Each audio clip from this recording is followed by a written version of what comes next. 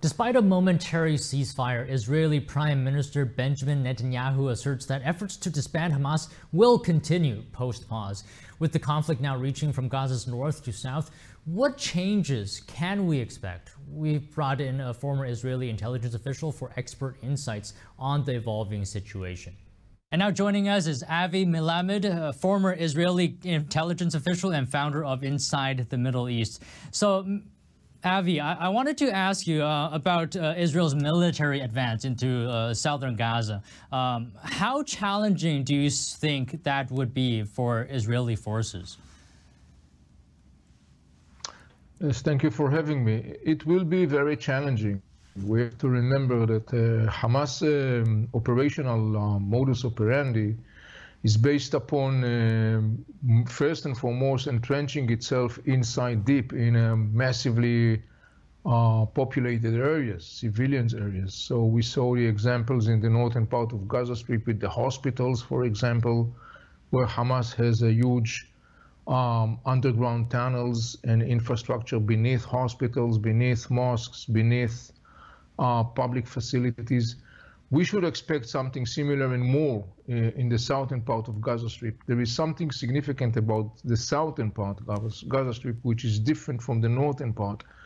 There are eight um, uh, refugee camps, Palestinian refugee camps in the southern part of Gaza Strip. Now, I want to be clear when, when I'm saying refugee camps, I know that some people in the West may have an image of tents or tin cans. That's, that is not the case.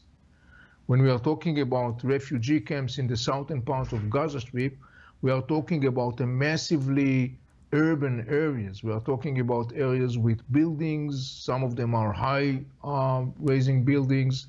It's not tins, uh, cans, and, and, and tents. It, this is a very massively populated area.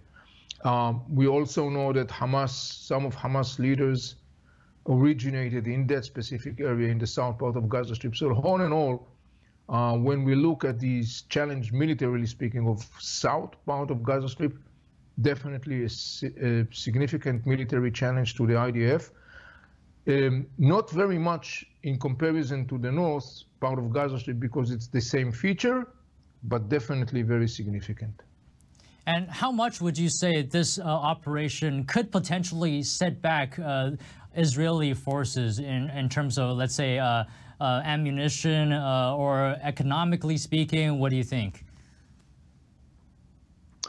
Well, look, obviously, when we are looking at this is a war, and you know, um, every day of a war costs a lot of money uh, in many different aspects. It's not only the military expenses per se; it's also the fact that Israel's major spine of fighting uh, uh, squads and units and divisions is based upon reservists, meaning these are people who are on a daily life are civilians.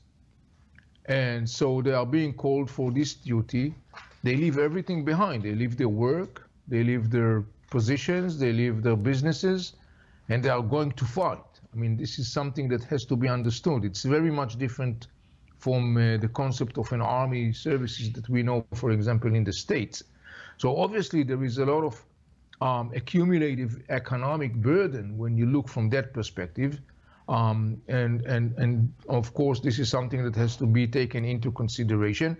And bearing in mind also that simultaneously, Israel is also engaged in um, domestic scale, sort of speaking, clashes with Hezbollah in the northern part of Israel. And on top of that, there are today some 125,000 Israeli citizens who became actually refugees inside the state of Israel because they can't live neither uh, in proximity to Gaza Strip, where there is a war going on, nor in proximity to the Israeli-Lebanese border, where there is this exchange of fire between Israel and Hezbollah.